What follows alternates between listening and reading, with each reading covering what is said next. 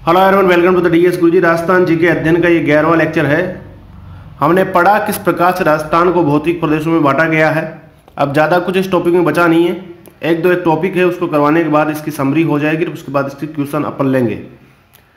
अपना last topic चल रहा था, उत्तर पश्चिमी मरुस्थलीय प्रदेश या उत्तर पश्चिमी मरु प्रदेश। सबसे पहली बात मैंने आपको बताया था, जब उत्तर पश्चिम की बात होगी तो आपको सबसे पहले तो उत्तर तो इधर होता है। तो ऊपर आना है तो ये वाला हिस्सा होता है वो। लेकिन ये वाला हिस्सा जो है, इतना छोटा नहीं है। अपन जब उत्तर पश्चिमी मध्य प्रदेश की बात करते थे तो ये यहाँ से आ जाता है, इतना बड़ा। बीच में ये अरावली वाला एरिया आ जाता है इसको भी दो भागों में डिवाइड किया जाता है, इस एक उत्तर पश्चिमी भाग को क्योंकि ये जो है अर्ध शुष्क होता है, ये शुष्क होता है, बालों का स्पूत युक्त बालों का स्पूत मुक्त। ये सारी चीज़ें जो है, आपके दिमाग में छपी होनी चाहिए, ताकि एग्ज़ाम में ज़्यादा समय आपको ना लगे। अब इसकी प्रमुख विशेषताएँ होती है, बहुत सारी चीज़ें होती है जो एग्ज़ाम में डायरेक्ट पूछ ली जाती है, कुछ एक नाम होते हैं। उनको अपन समझ लेंगे, मैप के माध्यम से भी समझेंगे और डिटेलिंग भी उनकी लेंगे। सबसे पहली बात यह है, अरावली की वृष्टि छाया प्रदेश होने के कारण, यानी वृष्टि छाया का मतलब क्या होता है? वृष्टि छाया का मतलब अरावली की छाया इस प्रदेश के अंदर पड़ती, यानी जैसे मान लीजिए यहाँ पर यह प्रदेश है तो यहाँ पर अरावली खड़ी हो गई, तभी तो इस पर छाया पड़ेगी, सूर्य की किरणें आएगी, अरावली टकराएगी, नहीं आ पाएगी। तो अरावली इसके सामने आ जाती है, इसके आड़ में आ जाती है। होने के कारण दक्षिणी पश्चिमी मानसून, दक्षिणी पश्चिमी मानसून अरब सागर और बंगाल की खाड़ी का मानसून सामान्यतः यहाँ वर्षा नहीं करता है। अब ये क्या बला है भाई? ये बला ये है, आप इस मैप से इसे समझ सकते हैं। भारत का मैप अपन को देखना पड़ेगा, तब ये समझ में आएगा। दक्षिणी पश्चिमी तो दक्षिण तो अपना यहाँ आ गया, पश्चिम अपना इधर होता है, बिल्कुल, भारत के मैप से अपन देखें तो। तो नीचे नीचे अपना होता है दक्षिण, और इधर होता है पश्चिम। अब दक्षिणी पश्चिमी मानसून, दक्षिणी पश्चिमी मानसून कौन सा होगा? अरब सागर का मानसून, यहाँ अरब सागर है। और ये बे ऑफ़ बंगाल है, बंगाली खाड़ी, इतना आपको याद होना चाहिए, ठीक है ना? तो ये मानसून जो है, यहाँ पर वर्षा नहीं करता है। अब आप ये कहोगे, सर, अरावली जो है, वो तो आपने कुछ यहाँ बताई है। ठीक है? फिर अगर मान लीजिए यहाँ वर्षा करनी है तो क्या दिक्कत है मानसून को? भाई सीधी सी बात है, आप एक मिनट मैप पे चले। मैंने क्या बताया आपको कि अरावली जो है, वो इस तरीके से है। अरावली प्रदेश अपन ने देखा, ये देख लीजिए आप मैप में। ये देखिए, अरावली वाला क्षेत्र है, वो कहाँ है? ये देख लीजिए, ये। फिर यहाँ बरसात करने में क्या दिक्कत है? जबकि बरसात भी इधर से आ रही साइड से। कोई बताएगा मुझे? इसके समझने के लिए आपको जस्ट रटना नहीं है, समझना है। क्योंकि समझेंगे तो लॉजिक क्लियर होगा, ऐसे तो नहीं होगा। दोस्तों, मेरे भाइयों, अपन को अगर इस क्षेत्र में बरसात करनी है, थोड़ा सा, इस क्षेत्र में बरसात करनी है अपन को तो अरावली आड़ में आ रहा है, ये कहा गया है, अभी जस्ट मैंने कहा है। दूसरी बात क्या कहिए? दक्षिणी पश्चिमी मानसून दिस इज़ द दक्षिण दिस इज़ द पश्चिम, ठीक है? तो ये क्यों नहीं आ रहा भाई? दिक्कत यह है कि अरावली केवल यही नहीं है, ये आगे भी आती है, जनाब। अरावली गुजरात से लेकर के निकलती है और दिल्ली तक जाती है, बीच में राजस्थान आता है, ठीक है थोड़ा सा हरियाणा भी आ जाता है। तो ध्यान रखिएगा, अरावली यहीं समाप्त नहीं है, अरावली आगे भी है, और ये अरावली का जो पर्वत है, यही मानसून को रोकता है इसमें जाने से। तो लॉजिक क्लियर हो गया ना? अरावली कैसे बीच में आ रही है? राजस्थान वाले वाली अरावली बीच में नहीं आ रही, गुजरात वाली अरावली पर्वतमाला बीच में आ रही है। हालाँकि अरावली तो पूरी एक ही है, लेकिन गुजरात वाला भाग बीच में आ रहा है। तो ये मत लॉजिक लगा लेना कि सर अरावली जब इधर से है तो मानसून इधर से आ रहा है तो इधर से क्यों नहीं आ सकता? इसलिए नहीं आ सकता कि बेटा यहाँ गुजरात से भी अरावली है, गुजरात में भी अरावली पर्वतमाला है, और ये गुजरात वाली इसको रोकती है। आई होप लॉजिक आपका क्लियर हो गया होगा कि क्यों ये लाइन जो मैंने अभी आपको बताई, ये ऐसी लिखी हुई है। अब यहाँ पे ध्यान से देखिए लाइन आपको समझ में आ जाएगी, रटेंगे तो नहीं आती। दक्षिणी पश्चिमी मानसून, अरब सागर, वो बंगाल की खाड़ी का मानसून सामान्यतः यहाँ वर्षा नहीं करता है। तो अरब सागर वाला मानसून क्यों वर्षा नहीं करेगा? क्योंकि गुजरात वाली अरावली आएगी। अब फिर आता है कि साहब आपने तो बंगाल की खाड़ी का भी नहीं कर रहा। तो बंगाल की खाड़ी का लॉजिक भी सुनिए। नीचे आ जाते हैं वापस। ये देखिए अपना मैप है ये। अब ये तो अपना हो गया। अरब सागर वाला अरेबियन सी लिखा हुआ यहाँ पर देख लीजिए। अब ये अपना बे बंगाल है, बंगाल की खाड़ी हो गया। तो जब यहाँ से अरावली इधर जा रही है, दिल्ली की तरफ़ तो इधर अरब सागर वाला तो नहीं आ सकता कंफर्म हो गया। लेकिन बंगाल की खाड़ी वाला भी नहीं आ सकता, क्योंकि अरावली राजस्थान वाले जो पर्वतमाला है, वो भी आ रही बीच में। तो यहाँ पर अरावली की वजह से वर्षा का जो मानसून है, वो आ ही नहीं पाता है। बस बसरते बात इतना है। बंगाल की खाड़ी से जो मानसून आता है, उसको रोकती है राजस्थान वाली अरावली, और जो इधर से आता है, उसे रोकती है गुजरात वाली अरावली। कोई कंफ्यूजन नहीं रहेगा अब। क्लियर एकदम हो चुका है। ठीक है, आगे चले। आगे चलते हैं। ये मैंने कल उच्चावच पढ़ाए थे, बहुत से लोग सोच रहे होंगे कि ये इनका क्या काम है। अभी देखना, इनका बहुत बढ़िया लॉजिक समझाऊँगा आपको, क्या काम आते हैं। अगला पॉइंट आता है। एक बार आप मैप को दिमाग में बिठा लेंगे ना तो वैसे ही ये सारी चीज़ें रटने की ज़रूरत नहीं पड़ेगी। इस प्रदेश का सामान्य ढाल पूर्व से पश्चिम की ओर तथा उत्तर से दक्षिण की ओर रहता है। पूर्व से पश्चिम की ओर, इधर की ओर और उत्तर से दक्षिण की ओर, इधर की ओर रहेगा। तो सामान्य ढाल कैसे रहेगा पूर्व से पश्चिम की ओर? ये देखिए। अपन ने कल ही पढ़ा था। ये मैप देखिए। जहाँ पर ऊंचाई होगी उससे अपन नीचे चलते हैं, ध्यान रखना ढाल में। जहाँ ऊंचाई होगी, वहाँ से नीचे चलेंगे। तो सबसे ज़्यादा नीचाई कहाँ पे? सबसे ज़्यादा नीचाई यहाँ पर है। अपन ने इस ऊँचा ऊंच वाले मैप से देखा। 150 से कम मीटर की ऊंचाई है यहाँ पर। अब इससे ज़्यादा ऊंचाई कहाँ पर है? इससे ज़्यादा ऊंचाई यहाँ पर है। और उससे भी ज़्यादा ऊंचाई यहाँ पर है। तो यहाँ यहाँ तो बहुत ज़्यादा। तो होता क्या है? मैंने क्या कहा? उत्तर से दक्षिण की ओर, ये उत्तर, ये दक्षिण और पूर्व से पश्चिम की ओर। तो ये जो है, इसके डायरेक्शन आप देखेंगे, ये इधर। इधर की साइड डायरेक्शन में जा रहा है ये। तो यहाँ ज़्यादा ऊंचाई है तो ढाल तो इधर ही रहेगा ना भाई। तो ये क्या होगा ये तो उत्तर है, और ये कहाँ कहाँ जा रहा है? दक्षिण की ओर जा रहा है। और इधर से अगर अपन देखें, दूसरी दिशा से तो यहाँ पे आप देख सकते हैं, यहाँ से जा रहा है इधर की तरफ़। तो ये जो लॉजिक है क्योंकि यहाँ पर ऊंचाई ज़्यादा है तो आदमी कोई लुढ़केगा तो या तो इधर लुढ़केगा या इधर लुढ़केगा क्योंकि यहाँ पर नीचाई है और यहाँ पर भी नीचाई है। तो क्या डायरेक्शन बनी इसकी? उत्तर से दक्षिण की ओर और, और पूर्व से पश्चिम की ओर। और, और एग्जैक्ट मैं कहूँ इस मैप के अनुसार तो ये एग्जैक्ट उत्तर भी नहीं क्योंकि उत्तर तो यहाँ है। तो ये हो जाएगा उत्तर उत्तर पूर्व से दक्षिण पश्चिम की ओर। देख लेना ये लिखा होगा। आगे चलते हैं। ये देखिए। ये क्या लिखा हुआ है? उत्तर पूर्व से दक्षिण पश्चिम की ओर है। समझ में आ गया ना क्यों है? क्योंकि वहाँ पे ऊंचाई ज़्यादा है। उच्चा उच्च वाला मैप वाला वीडियो नहीं देखा तो कल वाले वीडियो को जाकर देखिए। आगे चलते हैं। धोरे, पूछ लिया जाता है। रेगिस्तान में रेत के विशाल लहरेदार टीले जो होते हैं, उन्हें धोरे कहा जाता है। देखना है किस प्रकार के होते हैं तो ये देख भी लीजिए आप। ये जो होते हैं, इन्हें हम ढोरे कहते हैं, ठीक है? ये देख लीजिए। लहरेदार टीले हैं, इन्हें ढोरे कहते हैं, ठीक है? आगे और भी चीज़ें आएँगी। घनत्व। दोस्तों, वैसे तो पूरी दुनिया में जितने भी रेगिस्तान हुए हैं, वहाँ से सभी रेगिस्तानों से ज़्यादा घनत्व है इस रेगिस्तान का, थार वाले का।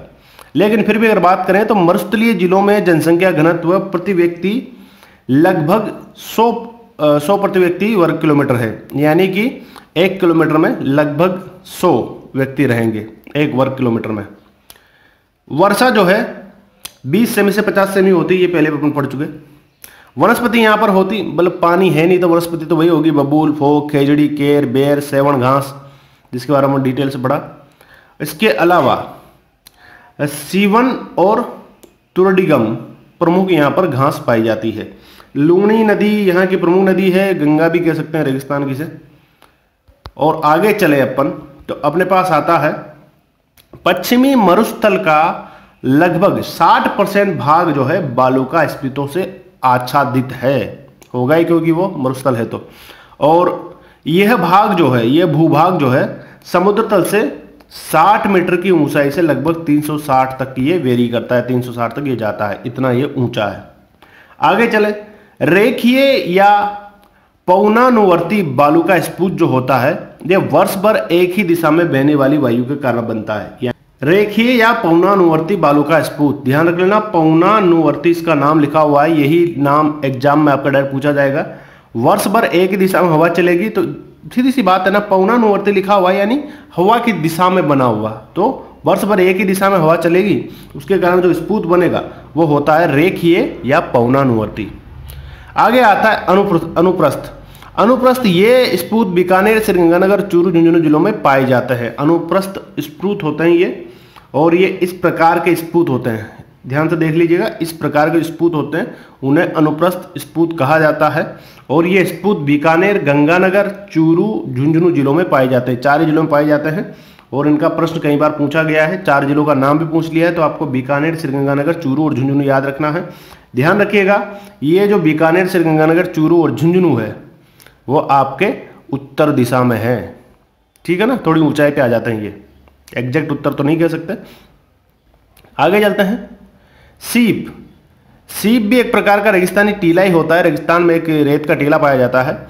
इनकी उत्पत्ति जो होती है, वो विपरीत दिशा में बहने वाली पवनों के द्वारा होती है। तो सीप का ध्यान रख लेना। सीप बहेगा, विपरीत दिशा में जो पवने बहेगी, उनसे उत्पत्ति होगी सीप की।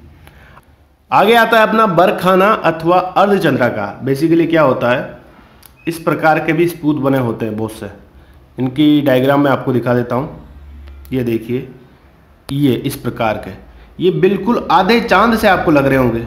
ये यहाँ पर आप देखिए, ये ये देखिए, आधे आधे चाँद सी डिज़ाइन बन रही है। उधर से देखेंगे तो इधर बन रही है, इधर बन रही है। तो ये आधे चाँद जैसे स्पूत बनते हैं, ये देखिए। इन्हें कहते हैं बरखाना या अर्धचंद्राकार बालू का स्पूत ध्यान रख लेना अर्धचंद्राकार लिख देगा तो कंफ्यूज मत हो जाना।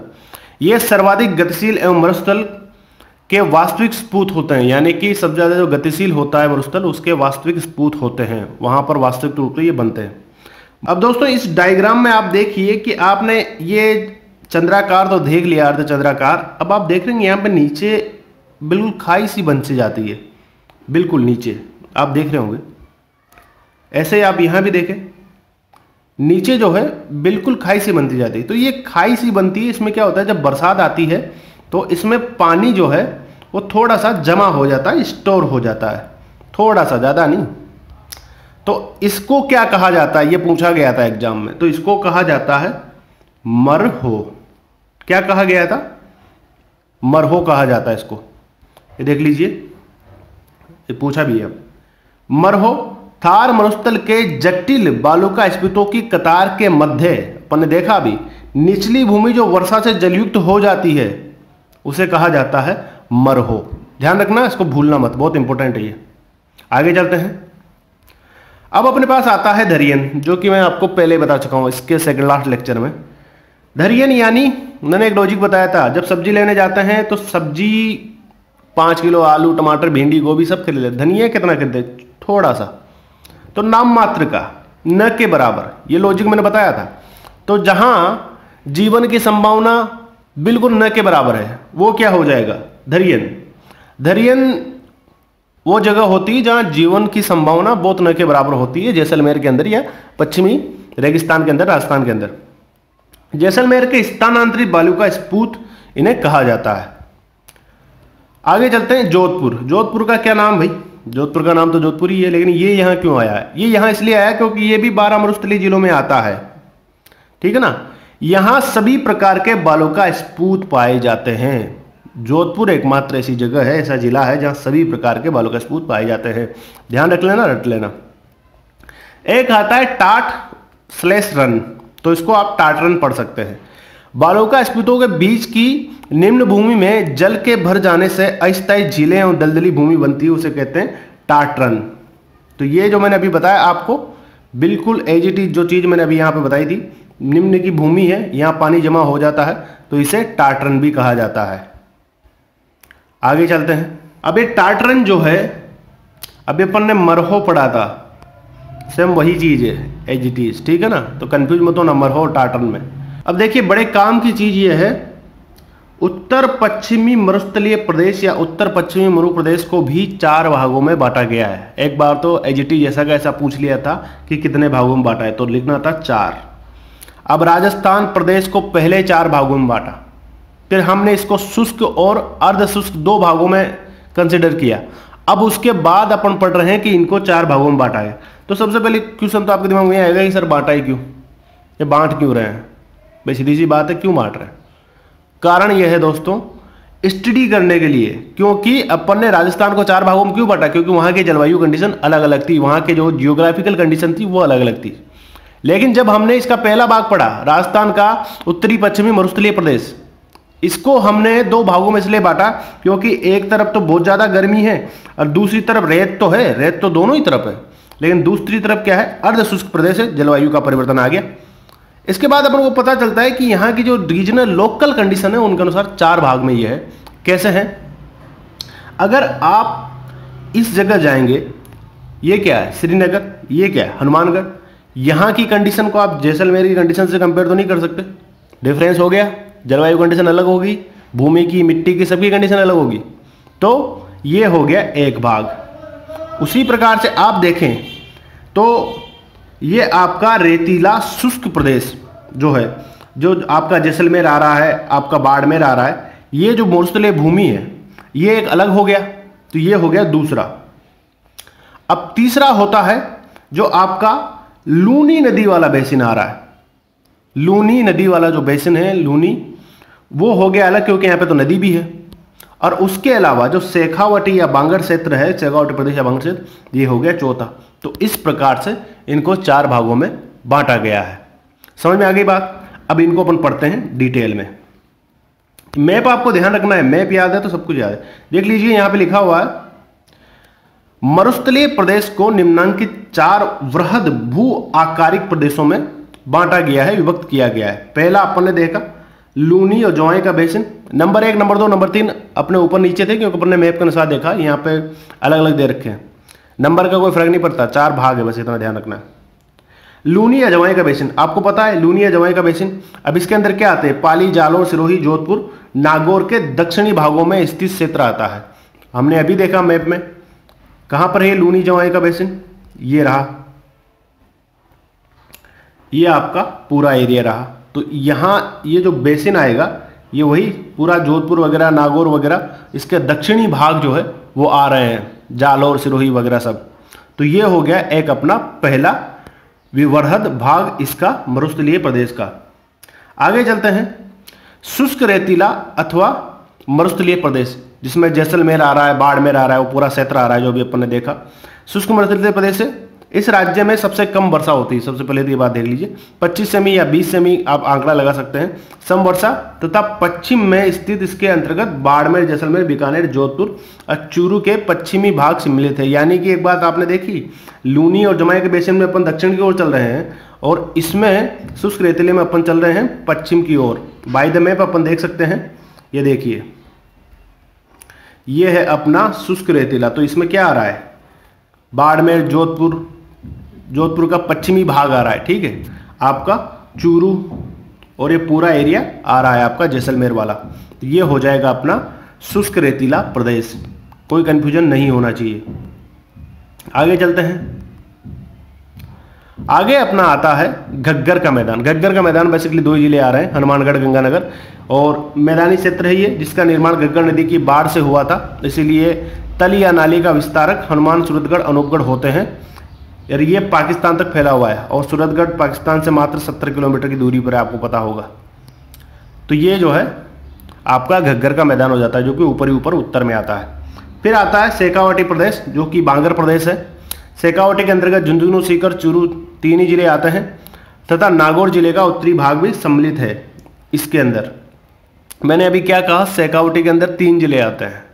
और ये जो अपन अध्ययन कर रहे हैं ना, भौगोलिक उसके अंदर अपने पास थोड़ा सा उत्तर का पार्ट भी आता है। बाय द मैप आप देखिए, एक बात और बता देता हूँ। ये जो मैं बता रहा हूँ, इसके अंदर नमक की मात्रा काफ़ी ज़्यादा पाई जाती है इस क्षेत्र के अंदर। तो ये देख लीजिए, ये ये पूरा बागड़ क्षेत्र है। तो यह थोड़ा सा नागौर भी टच कर रहा है। आप देख सकते हैं। आगे समझ में वहाँ से मैप से नहीं समझ में आ रहा तो देख लीजिए, ये नागौर भी आ रहा है। आ रहा है ना, सिकुर, चुरू, झुंझुनू? नागौर इतना नहीं आ रहा, नागौर का उत्तरी भाग आ रहा है थोड़ा सा। तो यहाँ के जो पानी जो है नागौर वाले में तो वैसे लवणीय मात्रा काफ़ी ज़्यादा होती है, नमक काफ़ी ज़्यादा होता है। तो ये हो गया अपना सेकावटी के अंतर्गत सीकर, झुंझुनू, चुरू नागौर ज़िले भी सम्मिलित होते हैं। यहाँ अनेक लवणीय गर्त या रन पाए जाते हैं। तो ये अपना पहला जो है भौतिक प्रदेश पूरा हुआ। इसमें आपको कोई भी दिक्कत नहीं होना चाहिए। दिक्कत हो तो अभी कमेंट करें, बताएँ, बहुत इंपॉर्टेंट है ये। बहुत ज़्यादा प्रश्न बनते हैं। और ये अगर आपने समझ लिया तो आगे इसको अपन देखना तुम आगे जब जाएँगे तो इसको हिस्ट्री से भी रिलेट करेंगे। इसको आर्ट एंड कल्चर से भी रिलेट करेंगे। इसको इसलिए सबसे पहले पढ़ाया जा रहा है क्योंकि इसको आगे जाकर बहुत सारी चीज़ों से जोड़ना है।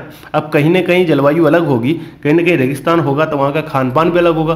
वहाँ का रहन सहन भी अलग होगा, वहाँ की बोली अलग है, वहाँ का पहनावा अलग होगा। ज़रूरी थोड़ी सिरोही का आदमी जो पहनेगा, वही उधर का पहनेगा, क्योंकि यहाँ पर तो टेम्परेचर की बहुत बड़ी विविधता है तो बहुत सारा मैटर करेगा। ये बहुत आपको बढ़िया तरीके समझ में आना चाहिए। तो राजस्थान के भौगोलिक प्रदेशों में से ये एक अपना पहला भौगोलिक प्रदेश आज यहाँ पर संपूर्ण हुआ। इसके बाद अपना आएगा अरावली पर्वत श्रेणी वाला प्रदेश, जिसके बारे में अपन डिटेल में अध्ययन करेंगे। यहाँ पर थोड़ा और भी लेते हैं इस लेक्चर में। दोस्तों, ये सबसे बड़ा पार्ट था राजस्थान का, इसमें अपन ने ज़्यादा टाइम लिया क्योंकि इससे बहुत ज़्यादा चीज़ें कवर होती है, बहुत ज़्यादा क्वेश्चन इससे बनते हैं।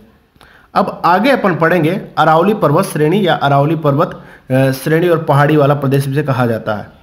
सिंपल सी बात आपको सबसे पहले ये समझनी पड़ेगी, इसको अगर समझना है कि अरावली का क्या रोल है राजस्थान के अंदर या अरावली है क्या?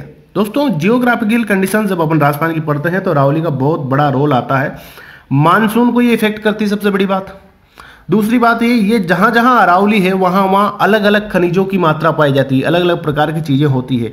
और ये अरावली जो है, केवल राजस्थान में नहीं है, ये अरावली गुजरात से निकली हुई है और गुजरात से निकल करके ये दिल्ली तक जाती है टोटल छः सौ बानवे मैं। यहाँ पे बता दूँ आपको, सिक्स नाइन टू छः सौ बानवे किलोमीटर का जो है लंबाई ये घेरती है।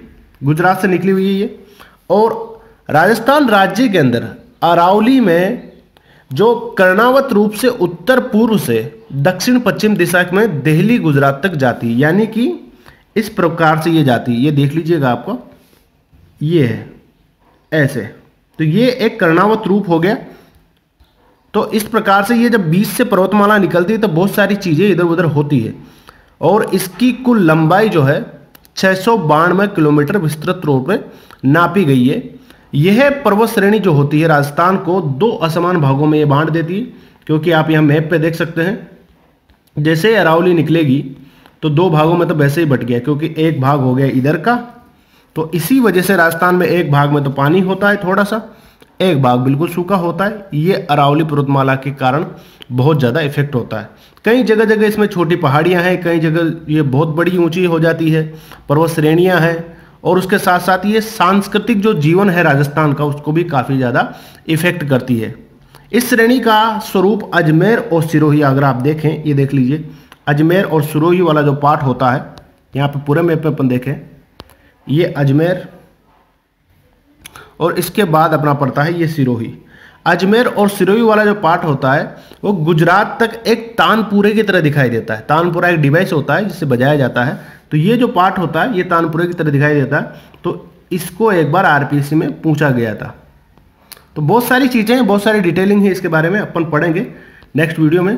फ़िलहाल के लिए धन्यवाद। अगर कोई डाउट हो, कुछ भी चीज़ आपको जाननी हो तो संपर्क कर सकते हैं।